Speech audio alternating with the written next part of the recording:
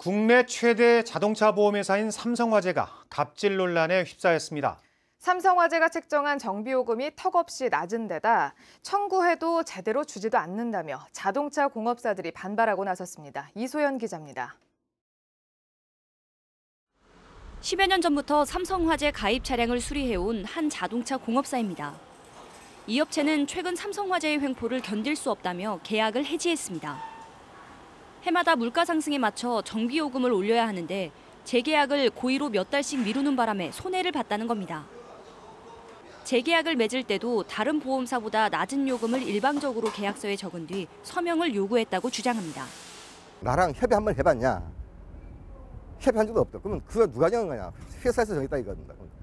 아 대기업이라는 데는 자기네가 일- 일방적으로 정해놓고 일선에 와가지고 우리가 정했으니까 매가 너네 두장 찍어라. 이런 거는 있을 수 없는 거죠.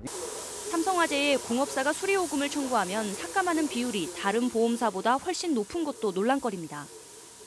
이 때문에 다른 지방 정비업체들은 수억 원대의 손해를 봤다며 소송을 벌이기도 했습니다. 일방적으로 깎아버리고 처음에 차 들어왔을 때 수리비를 해주겠다 해놓고 사람 바꿔가지고 돈 다 깎아서 보험금 반환하면은 공탁 걸어버리고 힘들게 하는 거죠. 지금 뭐 차액분이 한 10억 정도 됩니다. 10억. 이에 대해 삼성화재는 정비요금을 조율하는 과정에서 재계약이 늦어졌고 공업사가 수리비를 무리하게 요구해 삭감했을 뿐이라고 해명했습니다.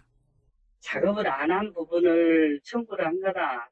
환금을 한 1시간이면 될 것을 뭐 2시간씩 환금을 청구를 한다던가 그건 안 되죠. 그런 거에 있어서 이제 서로 조율을 해가지고 하는 거지.